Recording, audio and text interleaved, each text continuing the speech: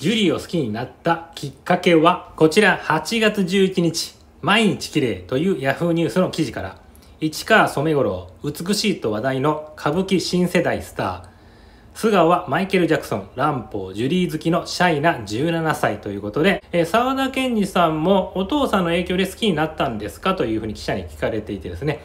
で、えビリー・ジーンで、マイケル・ジャクソンの曲ですけどもね、えマイケルが、え帽子を投げる演出が好きだそうで、で、ジュリーも勝手にしやがれで投げているのを見て興味が湧いたということなんですよね。で、1話染五郎さんは、そのジュリーが帽子を投げているのは、そのマイケル・ジャクソンの影響なのかなって思ったらしいんですって。でも調べてみたら、もうファンの方はね、皆さんご存知だと思いますけども、えー、マイケルよりはるか前にジュリーはやっていたということで、まあそれで非常に驚いてですね、まあジュリーのことをどんどんどんどんえー、調べて好きになっていったという、